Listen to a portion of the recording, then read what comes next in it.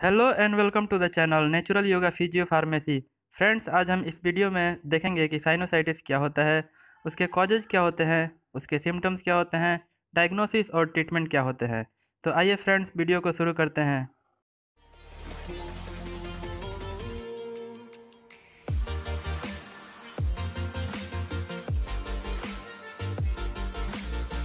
Sinusitis एक bacterial infective disorder होता है, जिसमें साइनस के एक या एक से अधिक हिस्से में इन्फेक्शन हो जाता है।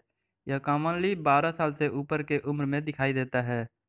साइनस हवा से भरा हुआ कैविटी होता है, जो फेसियल बोन में नोज़ से जुड़ा रहता है। साइनस में मुख्यतः चार पार्ट होते हैं। इन चारों हिस्सों का नाम फेसियल बोन के नाम पर रखा हुआ है। फ्रंटल इथमोइडल स्फेनोइडल और मैक्सिलरी साइनस म्यूकस मेम्ब्रेन से भरा रहता है और यह तब क्लियर होता है जब म्यूकस नाजल पासेज में आ जाता है। अगर यह किसी कारण बंद हो जाता है, जैसे कि कोल्ड और इन्फेक्शन तो साइनोसाइटिस काज करता है।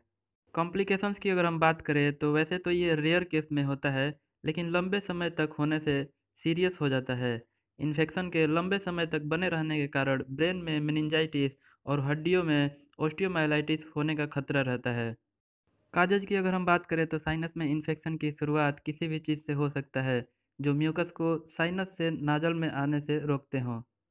पॉसिबल काजेज की अगर हम बात करें तो जैसे कि स्विमिंग, डाइविंग, इंजरी या फेसियल बोन का एबनॉर्मल स्ट्रक्चर जो है वो साइनोसाइटिस का कारण हो सकता है। इसके अलावा फ्लू और कोल्ड के कारण कंजेशन होने या एलर्जी होने से भी साइनोसाइटिस हो सकता है।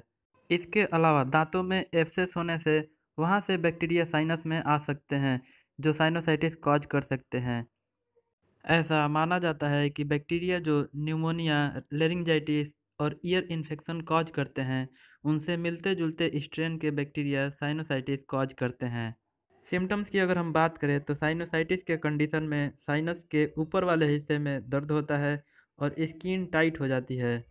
इसमें फेशियल पेन के साथ साथ headache fever chills sore throat nasal obstruction आदि सिम्टम्स दिखाई देते हैं। और साथ ही साथ नाक से म्यूकस डिस्चार्ज होते रहते हैं। साइनोसाइटिस के कंडीशन में लगभग दो हफ़्ते तक दर्द रहता है। उसके बाद सुबह में दर्द होता है और धीरे धीरे दिन के साथ दर्द कम हो जाता है। साथ ही साथ यह दर्द अपना पोजीशन चेंज करता रहता है और दर्द कभी कभी ज़्यादा हो जाता है।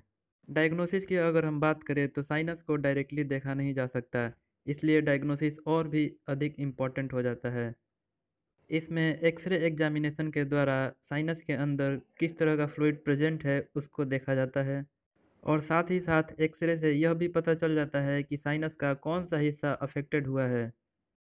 ट्रीटमेंट की अगर हम बात करें तो साइनोसाइटिस में सबसे पहले म्यूकस को निकालने का प्रबंध किया जाता है, जिससे कि बैक्टीरिया भी म्यूकस के साथ निकल जाए।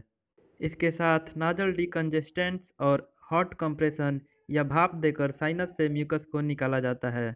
साथ ही साथ बैक्टीरिया को किल करने के लिए कुछ एंटीबायोटिक प्रेस्क्राइब किए जाते हैं।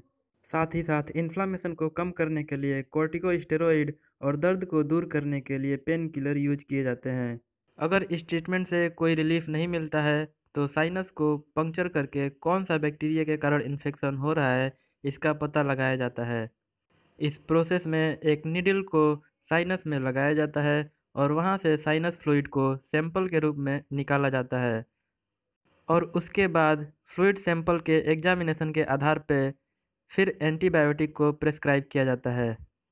कुछ सीवर केस में कोडीन को प्रेस्क्राइब किया जाता है, जो दर्द को कम करता है।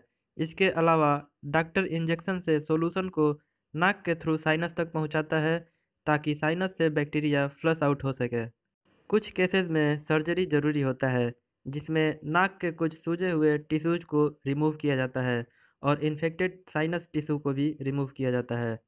होम रेमेडी की अगर हम बात करें तो स्टीम इन्हेलेशन यानी कि भाप को लेना बहुत ही हेल्पफुल होता है। साथ ही साथ हम ओट्रीविन एडल्ट नाजल स्प्रे ले सकते हैं, जो कि डी कंजेशन एक्शन शो करता है। वीडियो कैसा लगा कमेंट करके बताएँ। अच्छा लगा तो लाइक करें सब्सक्राइब करें शेयर करें।